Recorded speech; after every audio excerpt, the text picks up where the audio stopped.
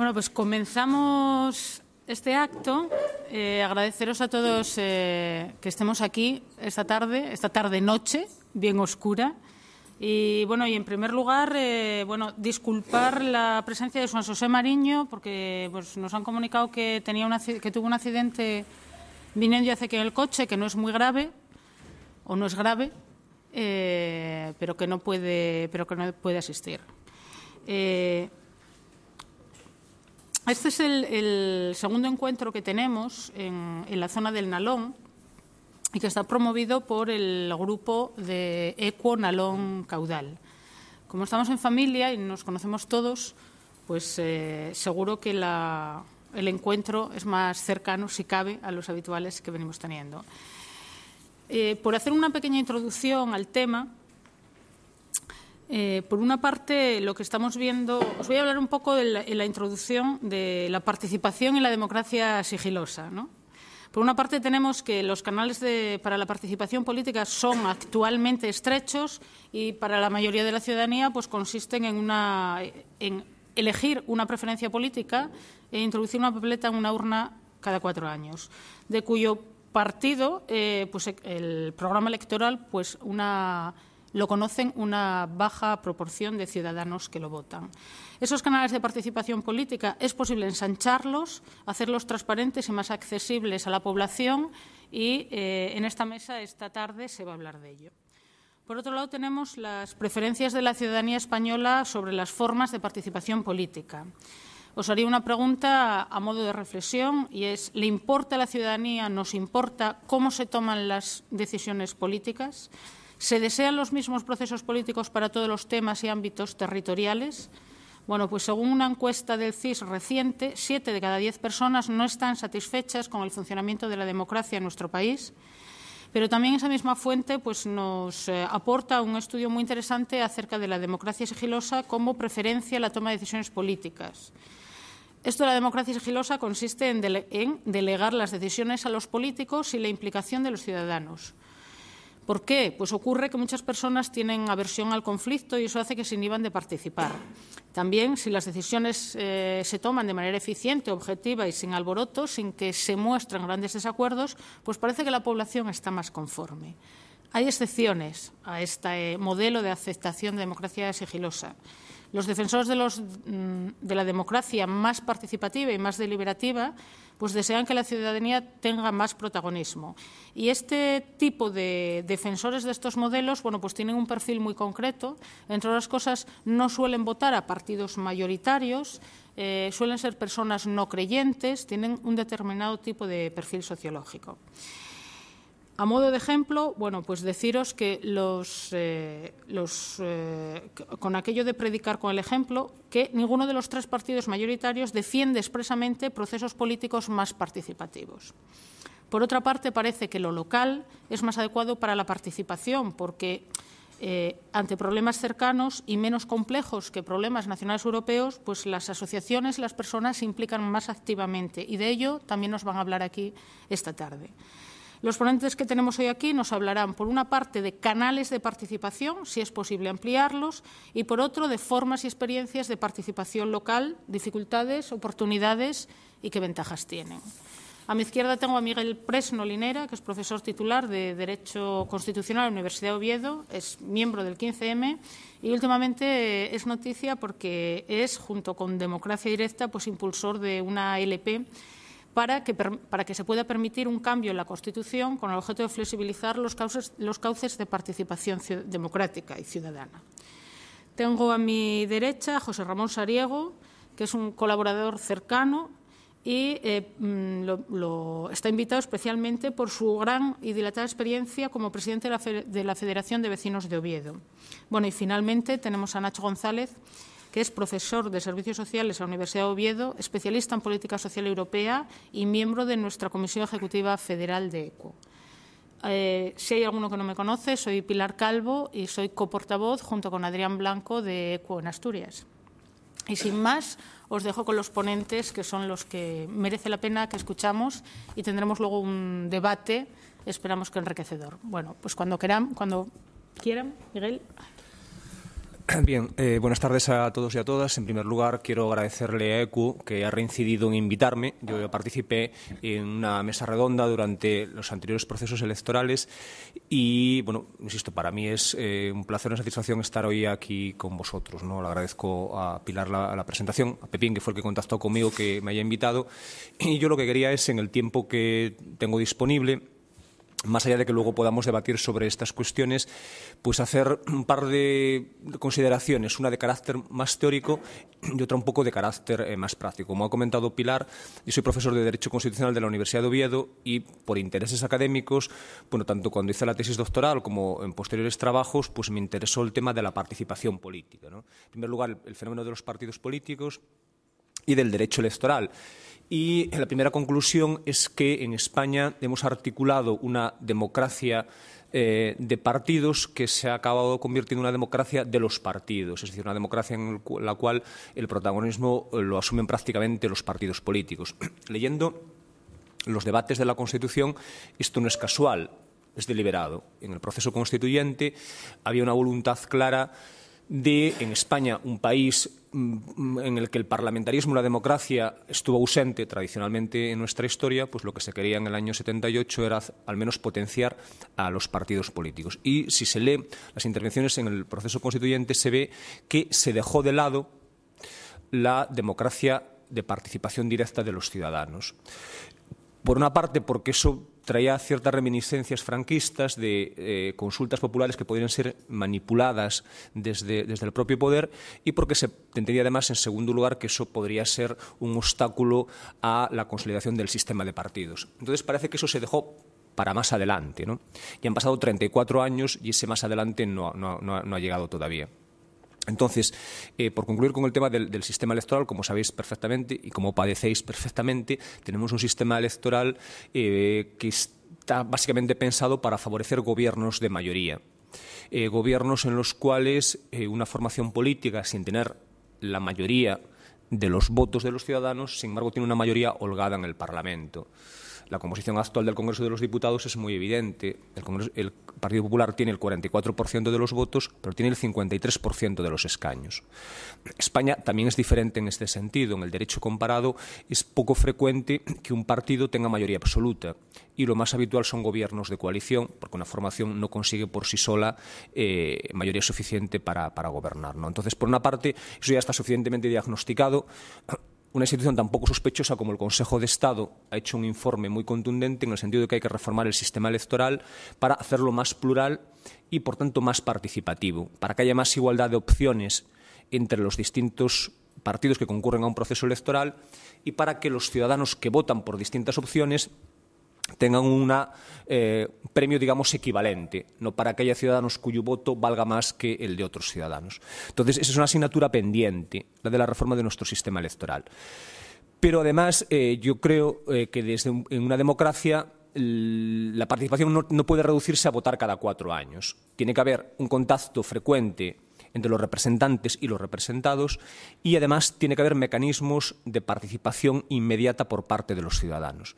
Y sobre esto es sobre lo que me quería extender eh, un poco más y contaros eh, la, la experiencia en la que yo he participado. Cuando se hizo la Constitución española, volviendo al proceso constituyente, nuestra Constitución preveía dos figuras que luego desaparecieron. Por una parte, se permitía, porque no estaba excluido, que por iniciativa ciudadana se pudiese cambiar la Constitución. Y también estaba previsto en nuestro sistema, en nuestro anteproyecto de Constitución, los, la figura del referéndum derogatorio, es una figura que está en Italia y, la y estaba tomada directamente del sistema italiano. Consistía básicamente en que si había un grupo de ciudadanos, medio millón, que pedían que se convocara una consulta popular, la convocatoria era obligada y además el resultado era vinculante. Y eso era aplicable tanto a decisiones políticas como para eh, decidir acerca de la permanencia o no de normas aprobadas por el Parlamento.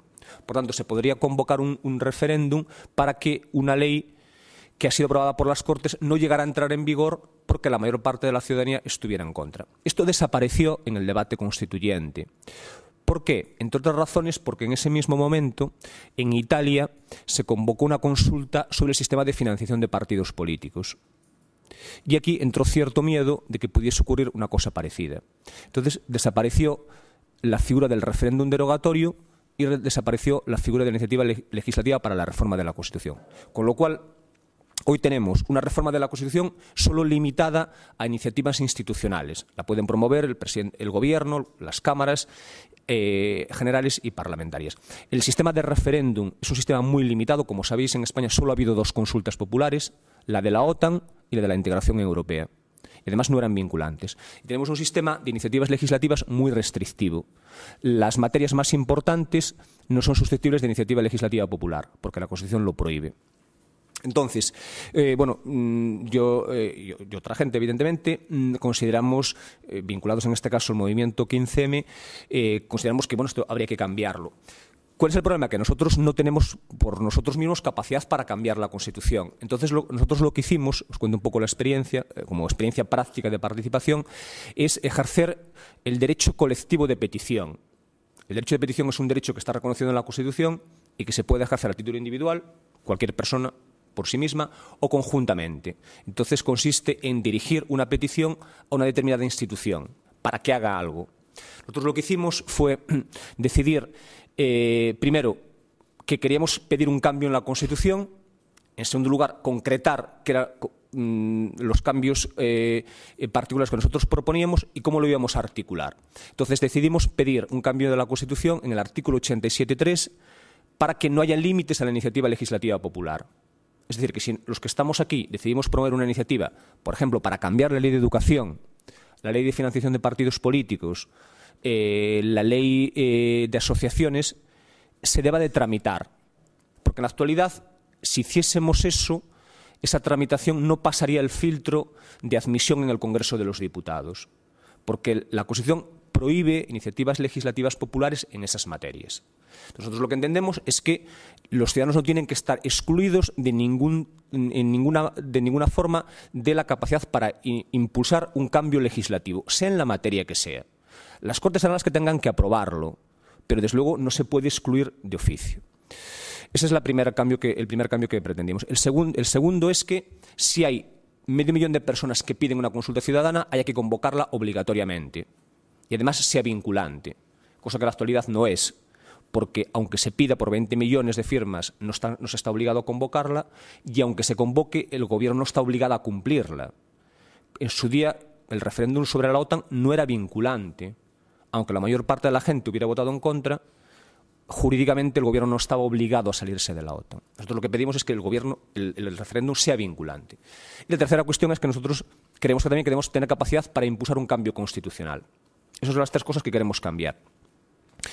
Y lo que hicimos fue hacer salir a la calle y recoger firmas y dirigirlas a la Junta General del Principado. Eh, la Junta General del Principado, el Parlamento asturiano, esto se hizo también en coordinación con asambleas de, otras comunidades autónomas, mm, desde mi punto de vista técnico no cumplió la ley de petición, porque la ley de petición obliga a que la institución a la que le diriges la petición te conteste, te diga si lo hace o no lo hace. Nosotros lo que nos dijeron es, sí, esto cumple los requisitos formales, lo admitimos a trámite, pero vamos a esperar si algún grupo parlamentario lo impulsa.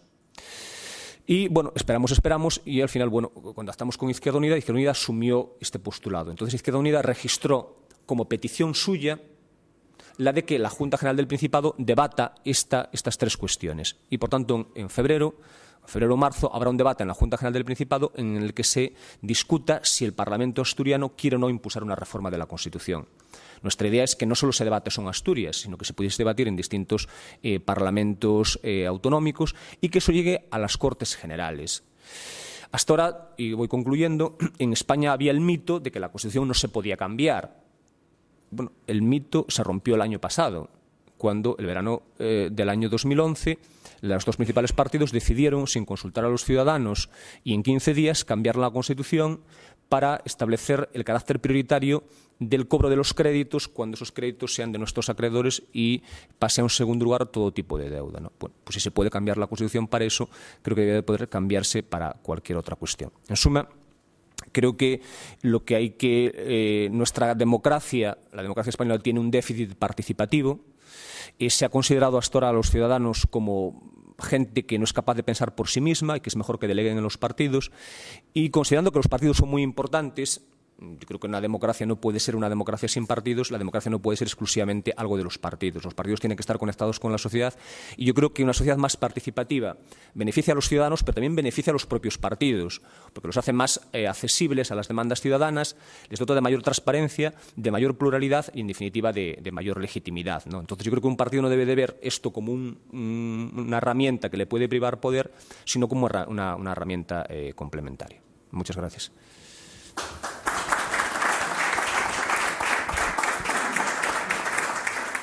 Muchas gracias por la brevedad y la concisión en la exposición.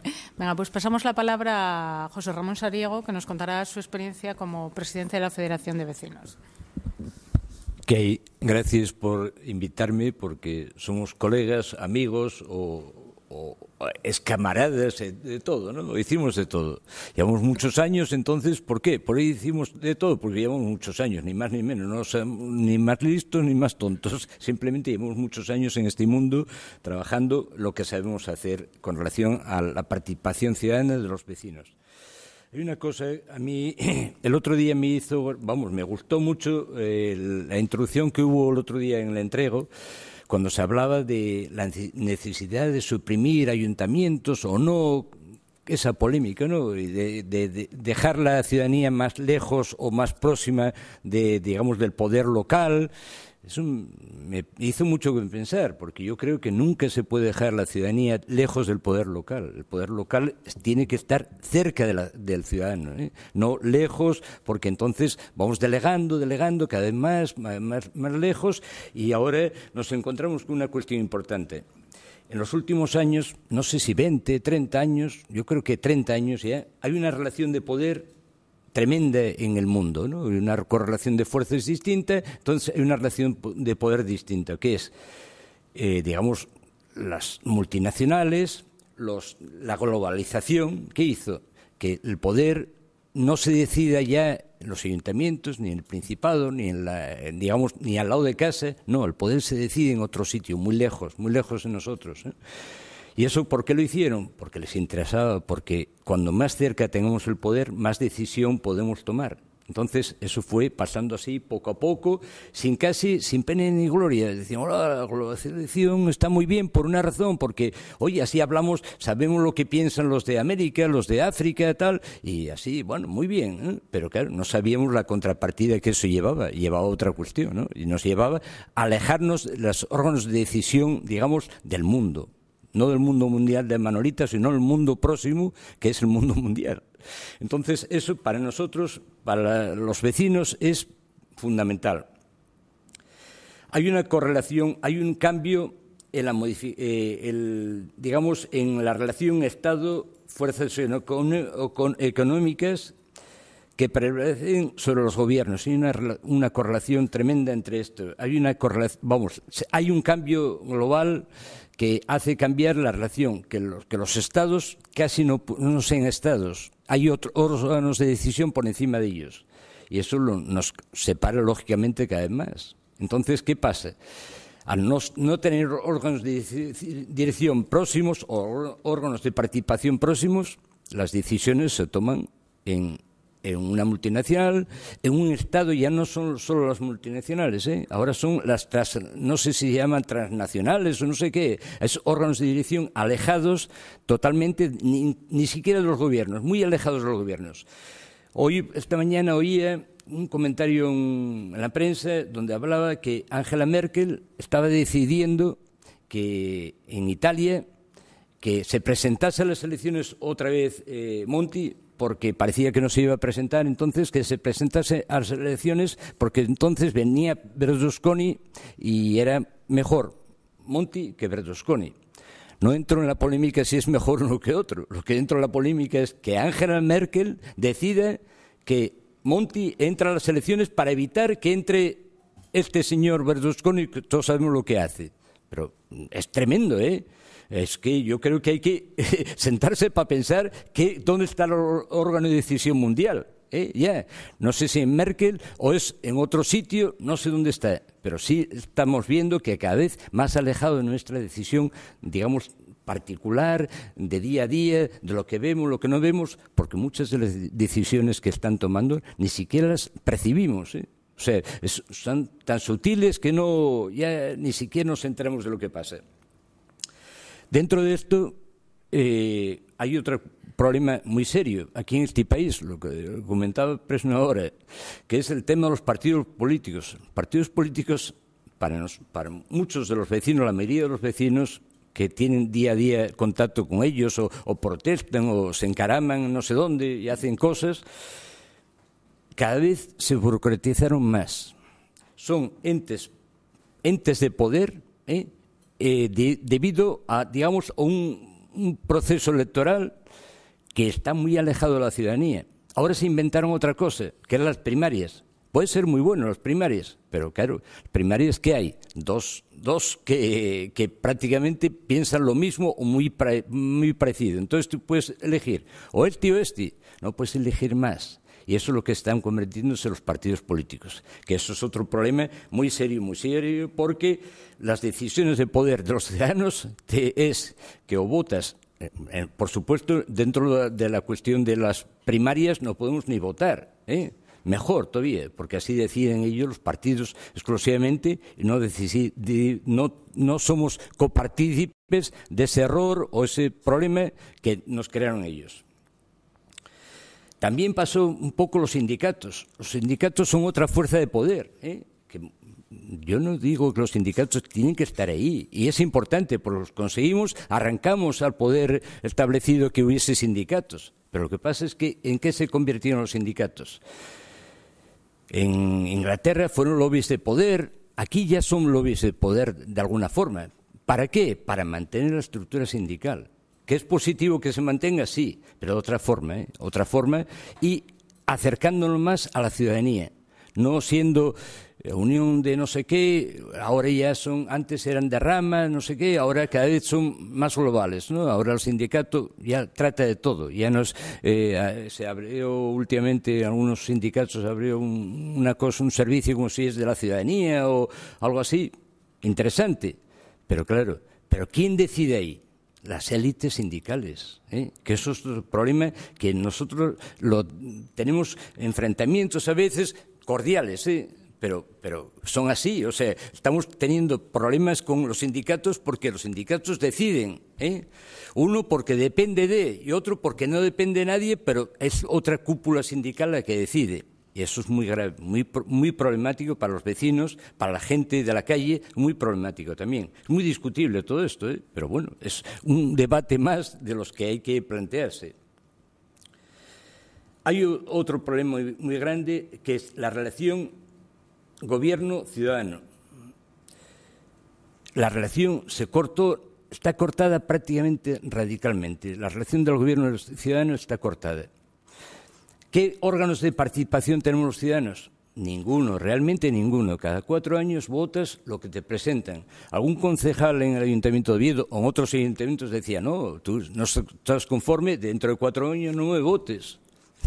Bueno, ¿y qué tengo que aguantar? ¿Cuatro años que estés eh, cortando con la, lo que piensa la ciudadanía, eh, haciendo lo contrario o, haciendo para ti un reducto de poder eh, para poder vender ese poder a otra transnacional lo que, lo que sea, que es lo que están haciendo en muchísimos casos, la mayoría de los casos?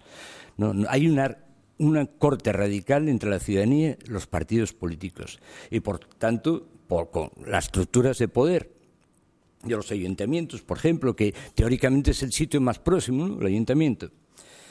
Realmente ya no es próximo, el ayuntamiento es, deci decide el ayuntamiento. Hay un equipo de gobierno que es normalmente mayoría absoluta, casi siempre o mayoría absoluta o mayoría relativa, pero se pone de, si no son mayoría absoluta, enseguida pactan para que a mí no me quite esto, a ti te dé lo otro, reparto de poderes, entre comillas, no son ningún poder, porque el poder está, como hablábamos antes, por encima, ¿no? eh, digamos, es otro poder mucho más, más serio. Los ciudadanos est estamos existiendo ante todo esto mudos prácticamente. ¿Qué hacemos con todo esto? ¿Qué podemos hacer? lo primero es cambiar la correlación de fuerzas. La correlación de fuerzas no la cambiamos, digamos, estando todo el día en la calle, también, ¿eh? pero no solamente eso, es los partidos, los sindicatos, las organizaciones, digamos, de, los ayuntamientos, por ejemplo, la más próxima yo creo que es el ayuntamiento, dejó siempre, hay una cosa, dejó ahí un poco entredicho, bueno, la participación ciudadana es muy guapa, suena bien, un concejal de participación ciudadana. Entonces dejaron ahí unos resquicios donde a veces metemos la cabeza, nos la cortan normalmente, pero la metemos, ¿eh? la metemos. Entonces hay que incidir en los mecanismos que tenemos, que el propio poder estableció. Hay que entrar en ellos, hay que entrar en ellos y gestionar a través de ellos. ¿Qué podemos gestionar? En la Unión Europea hace un tiempo, no sé si hace tres o cuatro años, una cosa así, hay una directiva europea que se llama participación ciudadana. Hay muchas cosas en los ayuntamientos que exige la consulta ciudadana o la participación ciudadana a los través de los cauces que sea, pero exige la participación ciudadana. Nosotros en Oviedo hicimos una cosa había un problema muy serio que era el Ayuntamiento de Oviedo estaba endeudado, entonces el alcalde se le ocurre ni más ni menos que coger y decir, bueno, eh, privatizo todo Oviedo, es decir, hago debajo de la calle Uría, debajo de la calle Toreno, medio Oviedo, hace una cosa que se le ocurre, eh, digamos, un, gran aparcamiento para todo Oviedo. Eh, entonces decimos, bueno, vale, hace el aparcamiento. Decide él, con mayoría absoluta que tenía, y el resto, pues bueno, tímidamente se opusieron, sí, hay que oponerse, pues eso es mucho y tal, y además hay que hundir a Gavino como sea también. Algún partido pensó solamente en hundir a Gavino.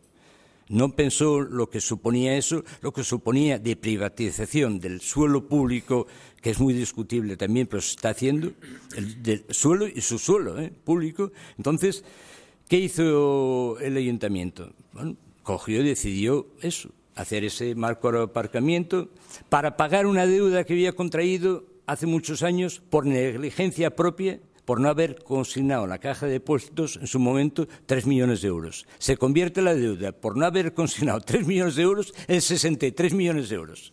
Entonces, ¿qué se le ocurre? Era muy, muy amigo, muy compadre de una empresa que, eh, que, tenía la gestión de los aparcamientos de Oviedo. La mayoría de la gestión de los aparcamientos de Oviedo es empresa. Dice, bueno, nada, le doy su suelo, el aparcamiento, se lo doy por 50, 70, ya nos daba igual. ¿Qué más de 50 si dentro de 50 años por lo menos muchos vamos a estar calvos? ¿ya? Entonces, ¿qué más nos da? 50 eh, que 70. Entonces, hace eso.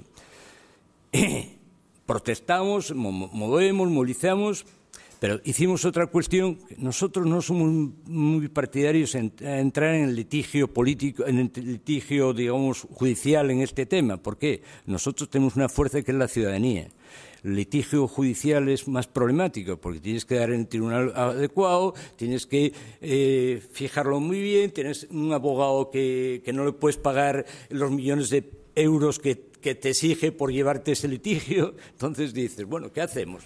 Nos movilizamos, movilizamos, pero aparte de eso, la Federación de Oviedo hizo una demanda, metió una demanda, el contencioso administrativo me parece que es, y esa demanda, el ayuntamiento lo primero que hizo es, eh, pues pusieron los partidos políticos alguna demanda más y tal, pero a la Federación de Oviedo lo que hizo el, ínclito abogado este de Madrid, eh, multimillonario en, el sentido que lo, que le pagó el Ayuntamiento de Oviedo, ¿qué hizo? El Ayuntamiento de Oviedo pretendió sacarnos a la Federación de Oviedo, no a los partidos políticos ni nada, a la Federación de Oviedo, que no éramos parte interesada, ¿eh? argumentó, para entrar en el litigio ese. Y vamos pues algo así como 20 años registrados con todos los, todos los eh, digamos todos los requisitos que exigen y tal. Bueno, entonces exige eso. Eh, que no que se nos saque de ahí que no tiene ningún sentido que nosotros no seamos nadie para entrar en el litigio ese. No sé si los ciudadanos no son nadie, esa es la idea que tienen digamos, este, este señor o los, digamos, los, los, políticos o los concejales, en su mayoría, que los ciudadanos somos una cosa ahí, que los votamos cuatro años y no sé qué. La Unión Europea dictamina, ¿eh? dictamina, no, el juzgado de contencioso administrativo dictamina que nosotros somos parte interesada y advierte al Ayuntamiento de Oviedo que si sigue o sea, para adelante por es, con esa demanda, entonces le cargará las costas, le, vamos, le va, iba a sancionar seriamente. Porque, claro, ¿por qué? Porque la directiva de la Unión Europea exigía la participación ciudadana. ¿Y qué pasó? Un grave error de, de los alcaldes o de este concejal o este alcalde. Se le ocurre, la participación ciudadana, ¿para qué? Lo decido yo y ya está que es la tónica general que pasa. ¿Qué pasó? Ganamos, ganamos, no ganamos nosotros el pleito, porque afortunadamente, bueno, otro partido, Izquierda Unida en ese caso, eh, vio, el juez vio antes la Izquierda Unida, la demanda de Izquierda Unida, que era la, metimos todos a la vez, a la vez, eh, Izquierda Unida, miento, los verdes también, metieron, eh, la metimos a la vez, pero ¿quién la vio? El juzgado consideró primero la Izquierda Unida, entonces ya no tenía lugar o sea, dándole la razón a los vecinos, dándole la razón que no se podía hacer ese aparcamiento y gestionar, o sea, haciendo que tuviese que volverse atrás de todo ese problema. Y digo que la Unión Europea, afortunadamente, todavía hay resquicios en la participación ciudadana que te exige la participación ciudadana. En las, eh, todas las demandas que estáis, vamos, estáis metiendo, estamos metiendo entre todos con relación a cosas medioambientales, otras muchas cosas más, la Unión Europea dice, no, es, sí, es un, tienen que haber participación ciudadana y si no, no, no puede seguir adelante con el tema, el tema que pretenden hacer eh, las eh, autoridades de algunas, de algunas cosas con relación a algunas cosas. Entonces, ahí es la participación ciudadana, ahí se puede dar. Vuelvo a insistir en los resquicios que tenemos que utilizar para entrar a participar. Nosotros queremos cambiar la legislación nosotros tenemos pocos visos por lo que decíamos antes, ¿no? ¿Qué visos tenemos? El referéndum, no sé qué, no sé cuánto, una iniciativa popular, muchas cosas, pero realmente en el fondo la mayor que tenemos es la movilización. Movilización social, que es lo que lleva a los ayuntamientos, al poder local, regional eh, del Estado, a cambiar algunas normas o leyes o cosas que hacen hay una cuestión para eso. Para eso, ¿qué necesitamos? La participación ciudadana, ¿qué necesitamos? Órganos de participación, pero también gente que gestione esos órganos, es decir, asociaciones de todo tipo, asociaciones de vecinos, de jubilados, pensionistas, damas de casa, mujeres. hay muchas en este momento. ¿Qué nos pasa? Cada, cada uno tira un poco por su forma, va, yo, yo soy yo, el que realmente tiene, sabe decir las cosas soy yo el que tal. No, somos todos, entre todos. Y mientras no entendamos que somos todos los que podemos decidir, ¿eh?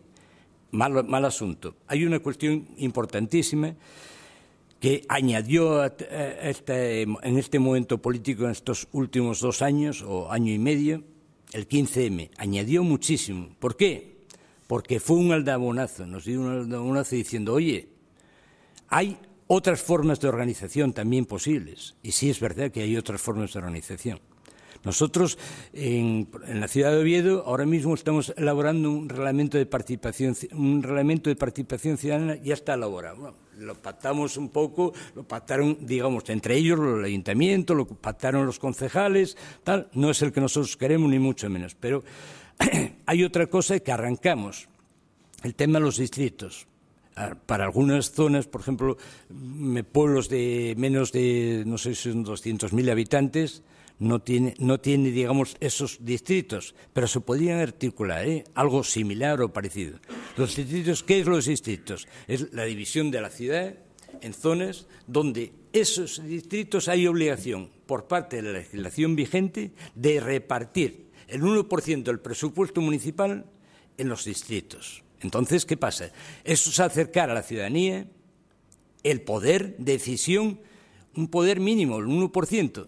Pero ya arrancaremos el 3, el 4, el 5 o el 20. No sé cuánto vamos a arrancar. No sé las fuerzas que vamos a tener entre todos. Pero no son solo unos, no solo, solo asociaciones de vecinos, sino 15M, asociaciones de vecinos, jubilados, pensionistas, muchas más. Eh, de gente simplemente que se organiza para tocar la gaita perfectamente. ¿Cómo hicimos nosotros? ¿Qué estamos haciendo en Oviedo? Y ya está saliendo para adelante mm, con mucha fuerza la gestión de estas, eh, cómo vamos a gestionar esa participación democrática. En primer lugar, decimos que en Oviedo había siete distritos. Ellos decían dos distritos, uno rural y otro urbano que aprobó el Ayuntamiento de Oviedo. Vale, estupendo, porque es la forma de decir, oye, nada, ya está, hecho todo, ¿no? Nosotros decidimos y lo arrancamos que fuesen siete distritos, ¿eh? Eh, de distintos barrios y dos rurales, dos distritos rurales. Nos parecía importante, pero no miramos que es, eh, es lo que hay que hacer, no mirarlo, digamos, con mentalidad partidista. A mí, ¿quién tengo allí? Porque alguna vez me dicen, oye, ¿quién tenemos ahí? No sé, tenemos gente, joder. Hay gente allí que, que piensa también. No somos nosotros, las asociaciones de vecinos, las que tenemos toda la, la, la, realidad, la verdad, no, en absoluto. Hay gente que nos aporta muchísimo. Entonces, ¿qué más da que haya uno, que haya otro? Más da. Oye, es que igual son todos del PP. Peor para porque no se van a enterar de nada. No se van a enterar de lo que es la participación democrática porque para eso eh, crearon una, cosa que en los, eh, muchos, sigue existiendo en muchos sitios, que es los alcaldes de barrio. ¿Qué es el alcalde de barrio? Es un delegado del alcalde en el barrio, del partido que sea, del alcalde, del partido que sea el alcalde, o sea, tiene que nombrar uno que sea de su partido. Lo nombra así, lo hace así. Es el poder que le dio, temía el poder local. En muchos sitios es, esa figura desapareció. En Oviedo no, en Oviedo siguen, siguen los alcaldes de barrio. ¿Por qué? Porque son, son el delegado personal, el corre vidile del alcalde en el barrio correspondiente. ¿no? Hoy día hace falta esa figura. Hace muchos años había aquello del alcalde pedáneo, eh, bueno, que entre todos los vecinos consensuaban, está el concilio abierto entre los vecinos consensúan. Yo creo que hoy día los órganos son mucho más participativos, la gente tiene Internet, tiene mecanismos, se conoce todo el mundo, quiero decir, o puede conocerse por Internet, o por, por referencias, o porque sabe lo que piensa y lo que dice. Entonces, eh, hoy día esa figura está obsoleta totalmente. Nosotros abocamos incluso por la desaparición del alcalde de pedáneo. ¿eh? ¿Por qué? Porque lo mismo, es delegado del alcalde. O sea, aunque sea votado, pero que cada cuánto se vota, cada año, cada cuatro años o cada año, cada quince días, ¿podemos revocarlo? No, no podemos revocarlo. Entonces el poder tiene que estar día a día. No es el poder establecido de uno porque eh, soy más guapo o porque sé hablar mejor. No, porque te puedes equivocar y puede revocarte. Eso es una de las cosas que nos aportó asambleas, las asambleas abiertas, 15M y otros mecanismos que están funcionando. Hay otra cuestión, ya para acabar, las, la experiencia de los consejos de distrito está empezando a funcionar. ¿Cómo lo hicimos? Simplemente nos reunimos por barrios, o sea, eh, una persona se encargó de ello, ¿no? de gestionar, a ver cómo íbamos haciendo cada barrio. O sea, entonces, él convocaba a todas las asociaciones del barrio, del barrio y limítrofes, ¿no? para establecer un consejo de distrito del barrio. Entonces, que vino gente abierta, la asamblea era abierta, eran las asociaciones de vecinos, pero no solo eso, sino los jubilados, no sé qué, las amas de casa y la gente que jugaba al ajedrez, perfectamente. Se reunieron y discutieron cómo queremos que sea la participación ciudadana en, ese barrio. Sacaron unas conclusiones. Eso extrapoló, se hicieron en muchos barrios, o sea, se fue haciendo, trasladando de barrio en barrio, se hacía eso, y se, eso salieron unas conclusiones. ¿Qué conclusiones son? El ayuntamiento, ¿qué pretendía para los consejos de la ciudad? Consejo, digamos, de distrito. Pretendía una cosa, que fuesen todos los partidos, o sea, tenía que haber un representante de cada partido político en el consejo, digamos, del barrio. Vale, muy bien. ¿Y qué más? Todos los alcaldes de barrio de digamos, de la zona. Igual, en algunas zonas de Oviedo había 20 alcaldes de barrio. Entonces, 20 alcaldes de barrio, más después todos los partidos políticos, eh, Izquierda Unida, PSOE, no sé, no sé cuánto más, y después, ¿qué más? Un representante de las asociaciones de vecinos. Estupendo, muy bien, es una forma de acercar el poder a la ciudadanía, ¿no? Es una forma muy, muy seria y tal. Nosotros, ¿qué decimos? No, no va a ser así. Va a ser, vamos a intentar que sea de otra forma.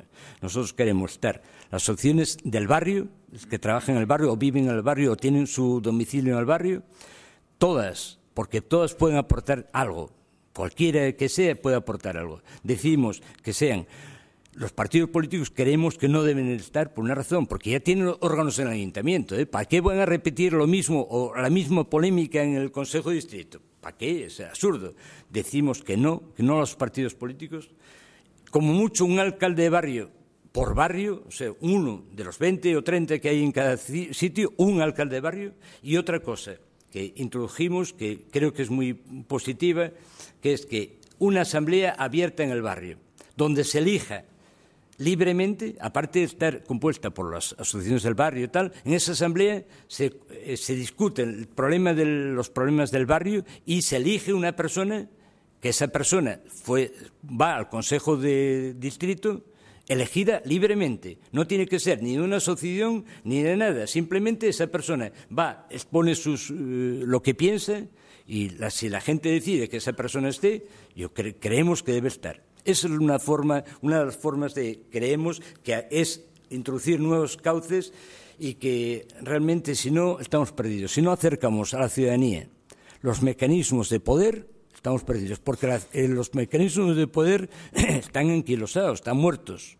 No hay, eh, se le decide de, otras instancias. Entonces nosotros queremos que hay que acercarlo lo más posible y trabajar lo más posible con la gente y para la gente, y porque es lo que tenemos en este momento. Nada más. Bueno, pues muchas gracias. Cedemos la palabra ya al último de los ponentes, a las González. Sí. No, no diré aquello de ser breve, porque ya sabéis que... Pero vamos, el último os toca. No, yo, yo quiero hacer una serie de reflexiones sobre la participación, sobre todo desde la experiencia de la participación en, en determinadas políticas públicas, ¿no? Eh, porque hay una realidad objetiva, y es que en la sociedad en la que vivimos la mayor parte de la población no participa. Y ya no es que no participe, digamos, porque hay una, des, una cierta des, desafección de lo político, ¿no? Porque evidentemente en los últimos años si algo hemos asistido es una pérdida de credibilidad de la tradicional participación política detrás de los partidos, ¿no?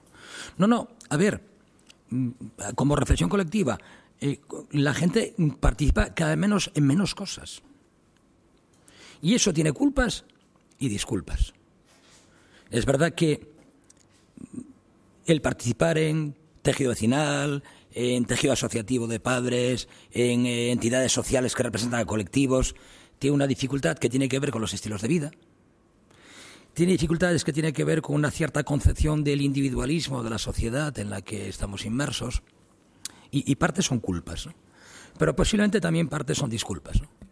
Es posible que mm, en el sustrato último de la desafección por lo político haya un cierto comportamiento ciudadano eh, que utiliza la política como arma de no, es que no merece la pena participar en política porque tampoco hay un compromiso de participar en otros espacios donde es posible participar y donde tradicionalmente además, eh, digamos, la participación es mucho más grata.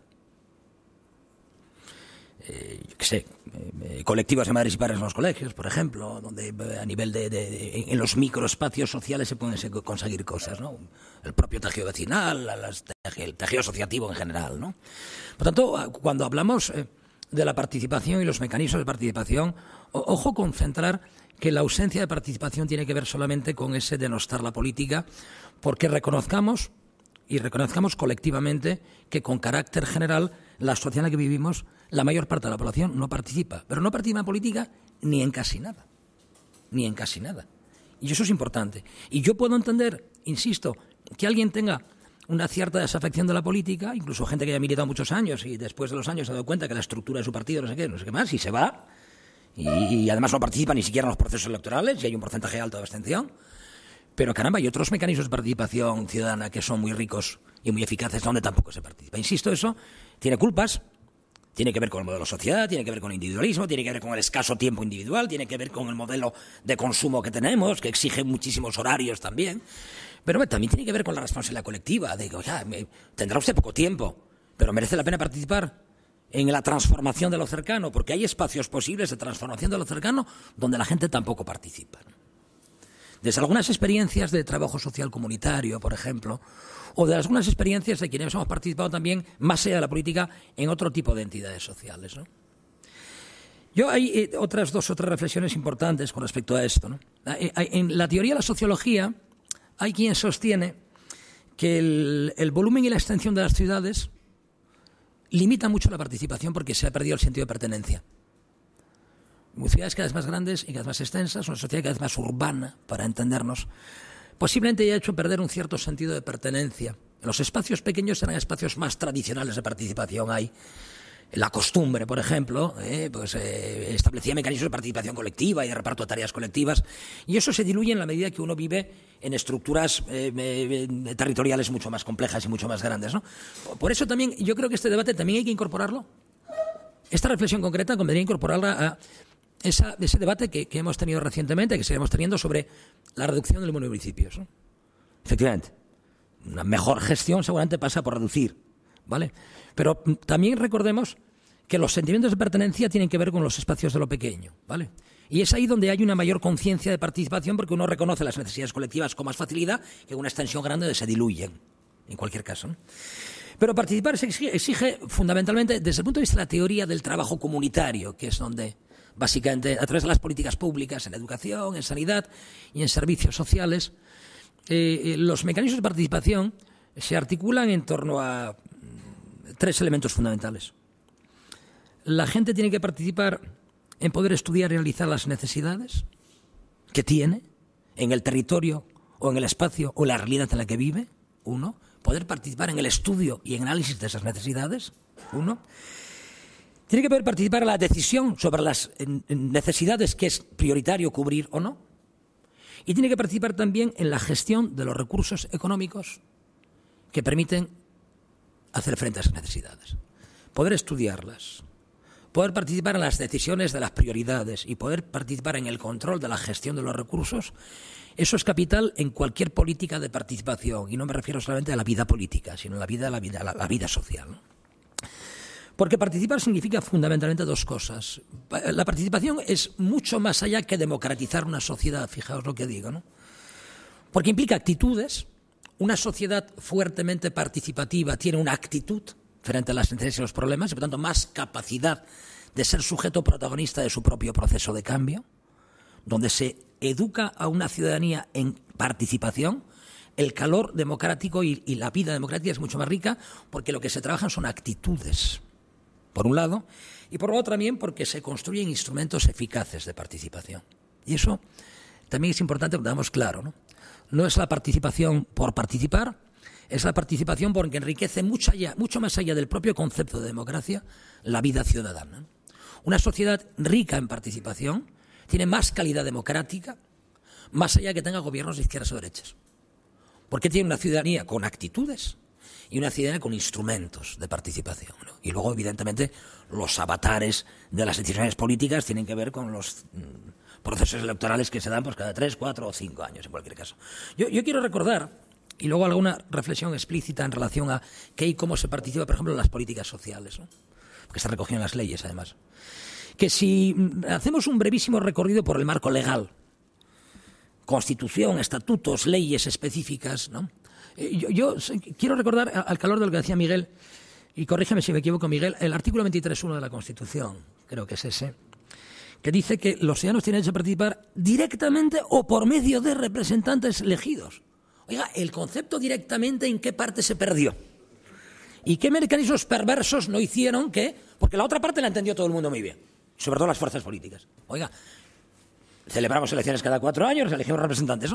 Oiga, pero la primera parte de la afirmación, ¿cómo participan los ciudadanos directamente? Pues de eso no ha habido ningún desarrollo legal, más allá de cómo se ha constituido las ILPs.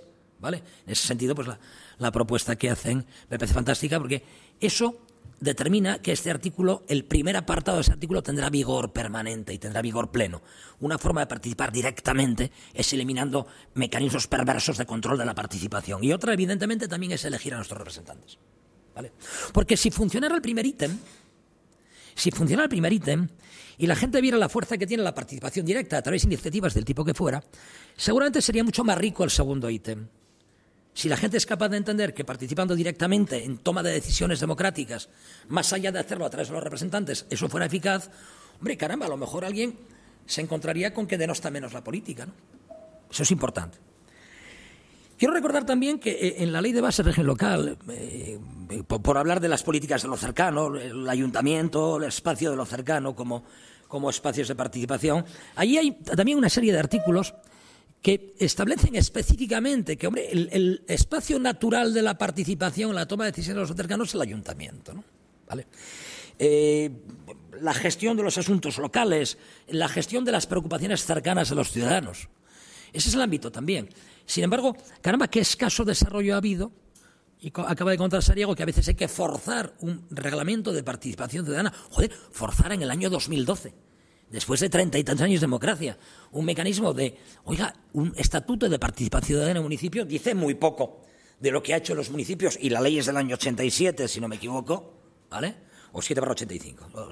Sí, ¿no? 7 barra 85. O sea, llevamos, en fin, no sé yo cuántos años de leyes, donde dice que los ayuntamientos tienen que promover y favorecer la participación a lo cercano. Y oiga, obligado por los vecinos y los colectivos vecinales, usted se acuerda en el año 2011-2012 de hacer un mecanismo de participación ciudadana representación. Ah, en fin, ¿qué parte de los deberes de la clase política en el ámbito de lo local se ha perdido y de responsabilidades de lo cercano? ¿no? Porque ahí es donde realmente la gente tiene en esencia, eh, los mecanismos de participación más cercanos. Es decir, cuando tú participas en lo local y en lo cercano y obtienes respuestas en lo local y lo cercano, eh, la gente sí percibe claramente que la participación es eficaz. Posiblemente es el sitio donde más se percibe. Si eres capaz de llevar una iniciativa eh, del tipo que, que llevasteis vosotros en Oviedo y que los vecinos perciben que se ha conseguido pues derribar un, un despropósito como el que se quería hacer en Oviedo, hombre, eso anima a la participación. Eso lo que hace es que la gente perciba que, caramba, con la movilización y la acción y las acciones pertinentes se consiguen cosas, ¿no? Y eso hace más, digamos, crea la felicidad de la participación, la, sensación de que eh, participar tiene sentido. Porque en, otro tipo de decisiones más lejanas, eh, con una construcción cultural más compleja, con gente muy poco formada en la participación, que es otro de los grandes de asignaturas pendientes, ¿no? No diré el sistema educativo, que lo es, ¿no? Sino de la, de la construcción de la ciudadanía en general, ¿no? Ha habido poca poco interés por parte de la Administración en general en dotar de elementos de formación e información a los ciudadanos para que fuera eficaz la participación. La participación tiene eh, seis características fundamentales. Primero, en sí misma es un ejercicio de democracia. Cuando uno participa, ejerce la democracia. También la ejerce con el voto, pero también la ejerce con el voto. Y, solo también la ejerce con el voto. ¿vale? Segundo, es una responsabilidad personal y colectiva. Por tanto, la participación compromete en lo personal y en lo colectivo y además fomenta y desarrolla la solidaridad. Porque la sensación de la, toma de decisión colectiva hace que seamos, digamos, vamos a llamarlo así, más sensibles a las necesidades y los problemas de los demás que están en lo cercano. Otra característica fundamental es que los mecanismos de participación ponen en relación de igualdad a los ciudadanos esa sensación de que cuando participamos, caramba, somos iguales. Porque cuando votamos de manera intermediada con nuestros representantes que han construido una estructura muy piramidal de toma de decisiones, no somos iguales.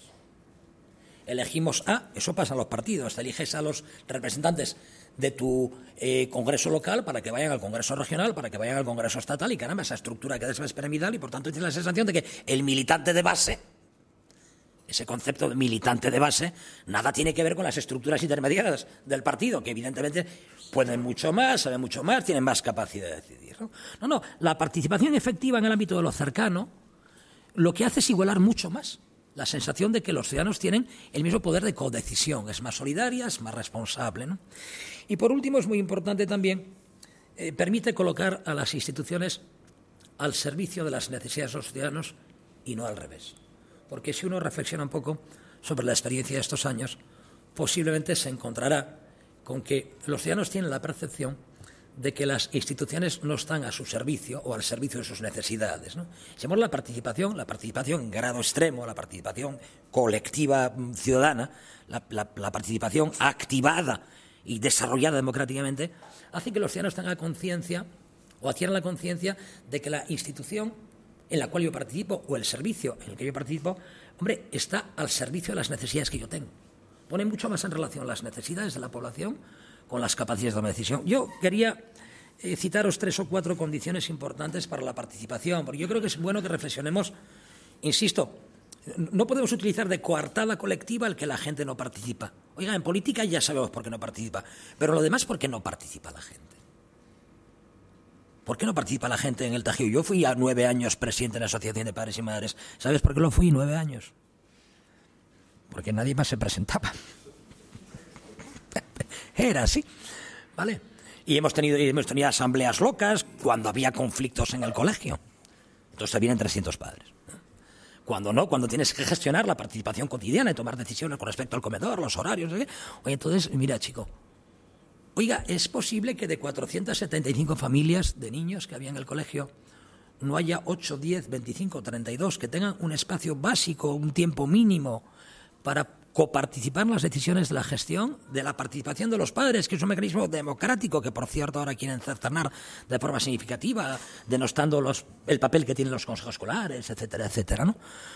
Bueno, pues hay que decir, puedo entender que la gente no participe en política, cuesta mucho afiliar gente, lo sabemos perfectamente, ¿vale? Pero no puedo entender por qué la gente no participa en otros mecanismos, ¿no? Y hay demasiada coartada colectiva, y eso convendría también que hiciéramos una cierta reflexión sobre ello. Para que la participación mm, sea eficaz y democrática, mm, dice la teoría que tiene que haber básicamente cuatro condiciones, o para reflexionar sobre ellas. ¿no? Primero, tiene que ser activa, decidida libremente y activa. Uno. Segundo, tiene que ser consciente y sostenida en el tiempo. Es verdad que cabe la participación puntual. Yo una vez fui a una asamblea porque se decía el horario del comedor y no estaba de acuerdo. Oiga, y el resto de las decisiones colectivas, como no afectaban al comedor, y no porque mi hijo no sé qué, pues no en las demás, oiga, pero afectaban a la vida de la comunidad escolar. ¿Vale? Tanto consciente, deliberada, permanente en el tiempo, que es muy importante también, ¿no? Y finalmente responsable. Responsable en el sentido de quien participa, allá donde participe, tiene que asumir el compromiso de que su participación es de una enorme responsabilidad democrática. ¿no? Y luego, para terminar, yo quiero haceros media docena de reflexiones sobre ¿Cuáles son las dificultades que nosotros en políticas sociales percibimos desde el punto de vista de las posibilidades de participar? ¿no? Unas están vinculadas a la propia administración. Los mecanismos de participación están recogidos en las leyes, por ejemplo, en la de servicios sociales, prevé tres formas de participar. A través de órganos formales, consejos asesores de, que anda que no hay, de cooperación al desarrollo, de tercera edad, de discapacidad, de la mujer, de la juventud, de yo qué sé, consejos asesores de participación, hay un montón, ¿no? Bien. Eh, a través del ejercicio de los derechos y deberes de los ciudadanos, la segunda forma de participar, para eso evidentemente los ciudadanos deberían conocer esos derechos y sus deberes, y también es tarea de la administración que los ciudadanos lo conozcan, ¿vale? La tercera a través del voluntariado y de la participación efectiva en el tejido asociativo, ¿no? Pero caramba, eh, eh, sin embargo, cuando uno se pone a desarrollar la participación, uno empieza a encontrar obstáculos frente a la Administración. En primer lugar, porque hay una cierta desinformación al ciudadano de cuáles son los mecanismos y los procesos de participación. El ciudadano con carácter general desconoce mucho los recursos a través de los cuales puede participar. Podemos imputarle una parte de la responsabilidad ciudadana, usted, usted los desconoce porque no se preocupa de conocerlos, pero también se los podemos imputar a la Administración, porque también es obligación y tarea de la Administración informar a los ciudadanos de los mecanismos y procesos de participación. Y eso, evidentemente, la Administración suele, suele ahorrar, porque se ahorra problemas. Otra de las razones para la escasa participación tiene que ver posiblemente con, la, quizás una enorme burocratización de los procesos de participación. Yo creo que hay que buscar mecanismos más ágiles de participación, porque cada vez que presentas cualquier cosa al ayuntamiento, el proceso toma decisiones, una reunión de un consejo asesor de, de medio ambiente, etcétera, etcétera, tiene una estructura tan burocrática que a veces hace que lo que tenemos que discutir ahora, que está caliente, porque es un tema candente en la ciudad, se discute dentro de cinco meses, porque es que no se convoca el Consejo, porque dentro de tres meses hay que hacerlo por escrito y mandar no sé qué. Oiga, mire usted, el tema ya pasó. ¿Vale? Y a veces, pues la gente acaba desmovilizándose porque ahora lo candente era discutirlo ahora y no dentro de tres meses. Eh, por temor a la pérdida de poder, posiblemente el núcleo central de los problemas que la Administración pone frente a la participación de los ciudadanos es la pérdida de poder, en términos, por, esa construcción cultural de que el poder solo se accede a través de las urnas. El poder se accede a través de la participación ciudadana que tiene múltiples facetas. Una de ellas es la urna, pero no la única. ¿no? Porque hay una cierta tendencia en general, y gobierne con gobierne, digamos, a hacer políticas de participación muy conservadoras. Y eso lo diré en detrimento de la izquierda y la derecha. En Gijón hemos tenido gobiernos municipales de izquierdas durante hasta el día antes de ayer, ¿vale? Ahí está Eduardo presente para que recuerde cuánto tiempo costó convencer a una concejala socialista para que crea de una puñetera vez, desde el año ochenta y pico estaba recogido, el, el Consejo Asesor de Medio Ambiente. Oiga, está recogido la creación de ese consejo. Hay que crear el documento que regule su funcionamiento y nombrar los representantes y convocarlo habéis tenido dos o tres reuniones, curiosamente, con una, con, una alcaldesa que no es precisamente de izquierdas, ¿vale?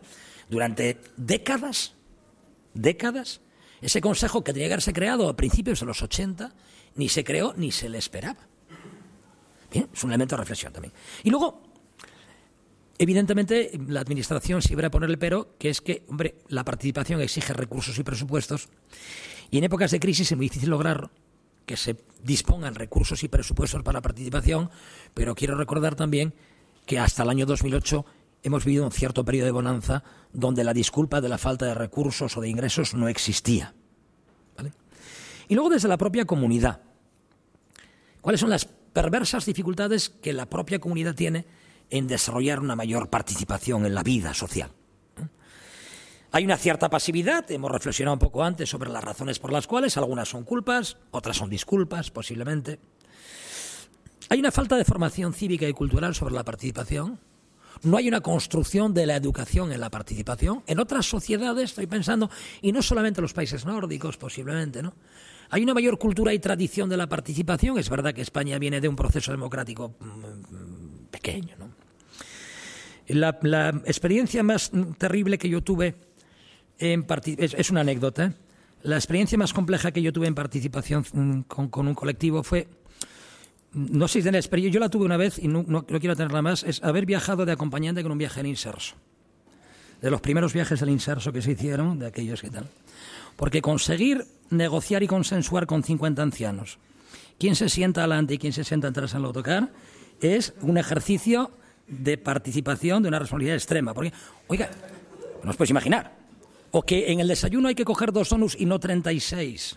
Porque los que vienen detrás también tienen derecho al donus. Eso denotaba, y eso no me ha pasado nunca con los chavales de la universidad, por ejemplo. ¿Por qué? Hombre, porque son generaciones diferentes y porque hay una mayor construcción cultural de la participación. Y sin embargo, los chavales, digamos, que tienen un mayor sentido de la solidaridad que otras generaciones, y lo reconozco así, por mucho que se denoste, ¿de acuerdo? Sin embargo, caramba, tienen muy poca afectación por la participación mucha menos actividad de participación de los jóvenes ahora. Posiblemente, digo, estoy hablando de la universidad concretamente, que se moviliza por casi nada. Por casi nada. La de Oviedo, prácticamente por casi nada. ¿Vale?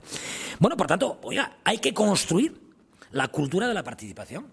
Y los poderes públicos tienen alguna responsabilidad, pero el ciudadanito de a pie también la tiene. En la construcción, en la educación para la participación. ¿no? En la escuela también la tiene, y está comprometida y obligada. ¿no?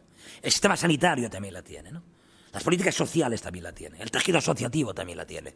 No solo la tiene la administración, la responsabilidad sobre inculcar o incorporar la necesidad de participar o educar en la participación. Y finalmente, eh, también uno de los grandes dislates de la falta de participación tiene que ver con la frustración por los resultados. Cuando alguien participa sostenidamente en el tiempo en algún tipo de actividad y percibe que, caramba, los resultados que esperaba y el tiempo que dedicó, las energías que dedicó, pues no dan el fruto eh, que a su juicio deberían ser, pues enseguida hay, una, hay un decaimiento general de la participación. ¿no? Bueno, eh, la idea eh, pasa por reflexionar sobre mm, cómo se establecen los objetivos a corto y medio y largo plazo con respecto a la participación y la obtención de resultados. ¿no? Porque si alguien piensa que participando puntual o temporalmente en algún tipo de actividad conseguir rápidamente algún tipo de resultado, pues se equivoca seguramente de plano. Bueno, insisto, son reflexiones que, son complementarias a la necesidad de participación política o, mecanismos diferentes de participación política, pero a, mí me, empieza a incomodar un poco la coartada de la participación, ¿no? porque yo, insisto, lo de la política lo entiendo. La gente va de retro con los partidos, seguramente, porque se lo han ganado a pulso, ¿no? Pero con respecto a otras formas de participación, que también son de riqueza democrática, me cuesta pensar que no tengamos responsabilidades colectivas. ahí lo dejo, gracias.